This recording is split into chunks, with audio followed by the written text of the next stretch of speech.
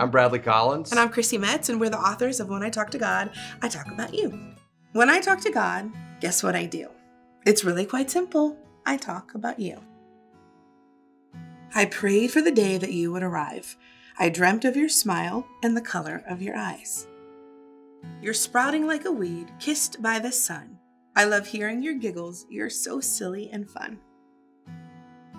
When I talk to God, I talk about you.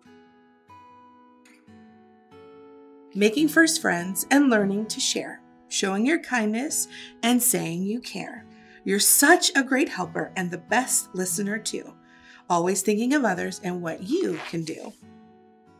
I'm proud of how brave you're learning to be, and you can do anything if you believe. When I talk to God, I talk about you. Some days you're calm, taking things slow, and some days you run on your mark, get, set, go.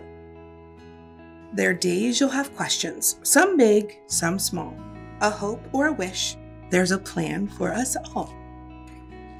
When I talk to God, I talk about you. But did you know that you can talk to God too? Your prayers are heard day or night. God's by your side, a warm, safe light. Pray God guides you in all that you do and blesses the ones who love you too.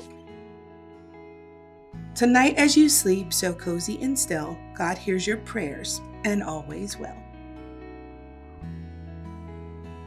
You're my sweetest prayer, a dream come true. You're held in love and made from it too. When I talk to God, I talk about you. When I talk to God, I talk about you. It's available now anywhere books are sold.